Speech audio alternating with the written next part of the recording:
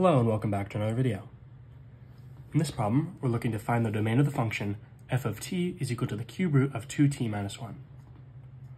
So when we're looking at the domain of a function, our default assumption is that we're going from negative infinity to positive infinity. And then we look at our function and say, okay, what values out of this range can we not have as an input? Here we're looking at a root.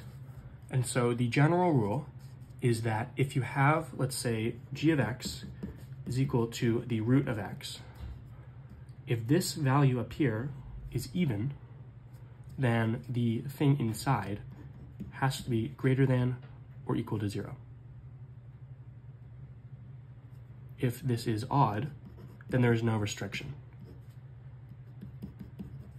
It can be anything of the real numbers. In this case, we have a cube root, which means you can have anything in this domain.